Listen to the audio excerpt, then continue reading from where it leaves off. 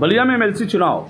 अभी आप देख सकते हैं, जिला पंचायत के प्रांगण में परिवहन मंत्री दयाशंकर सिंह और नगर पालिका अध्यक्ष अजय कुमार और उनके साथ यहाँ देख रहे हैं, परिवहन मंत्री के साथ सांसद नीरज शेखर भी यहाँ दिख रहे हैं और तमाम सभासदों के साथ यहाँ जिला पंचायत परिषद में मतदान के लिए यहाँ पहुँचे हुए हैं और अभी मतदान से पहले मतदान करने से पहले अपने लोगों से बातचीत करते हुए यहाँ कड़ी सुरक्षा के बीच मतदान हो रहे हैं। देखिए, पुलिस की व्यवस्था पूरी तरह से लगी हुई है, महिलाएँ सभासद जो है मतदान के लिए आगे बढ़ रही हैं।